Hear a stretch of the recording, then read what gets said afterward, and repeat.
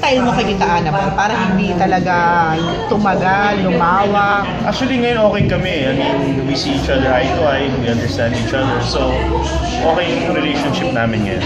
Kumukuha pa siya ng commission kahit kahit may client ka na rin. kanina eh. Ha? Kumukuha pa rin siya ng commission sa'yo. Hindi kusang loob ko na yun. Wow! Wow! Ikaw na favorite na ako. Yun. Pero siya ba hindi pa nag-a-advise na magpakasal kayo?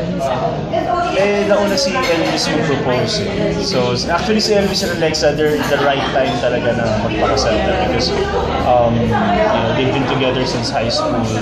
Tapos may baby na rin sila si Arya. So, mauna muna sila. And then, eventually, um, kami naman. Pero, sabi ng Next year mom na. ko, kasi ngayon sila Elvis nagkaplano ng wedding nila and you know, my mom is very hands-on sa lahat. Nakala nga. Alam mo siya ikakasal. So, Okay. parang siya yung ikakasal. Kayo nag invite eh. So, kinakabahan na ako sa future planning stage kung ano mangyayari. Pero kayo ba ni Sarah, meron na kayong dream wedding? At pag-uusapan namin, syempre. Um, pero until we're there really like sitting down and planning it, um, then it becomes a reality. Pero syempre, we dream about, you know, the perfect, the perfect day. Marami na kayong pinuntahan. If ever, dito pa rin sa Philippines somewhere. Um, tingnan natin. Tingnan natin. Church or... Mukhang mahirap paalisin ng Pilipinas yung mga magulang. Oo nga. Ah, Nag-expose ka rin ba? May plano. surprise na. Well, nagpa-plano ka rin.